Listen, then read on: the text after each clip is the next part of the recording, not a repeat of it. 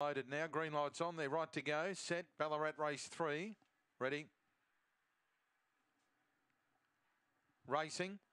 And winning the start, Frothy's Jet. Pabby Bar went out hard. So did Siren Head on the outside, followed by Pongo going up in the middle. And then Siddiqui Bale, Josiah Bale, Rahim Bale, and Willeen Bale. Off the back, Frothy's Jet grabbed by Siren Head and Pabby Bale going up on the rail.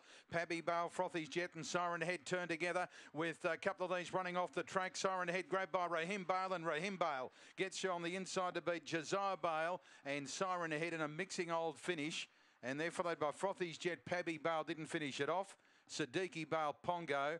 And there's another one back there. Would have been Willeen Bale in a mixing old finish here to the third. The run 22.57.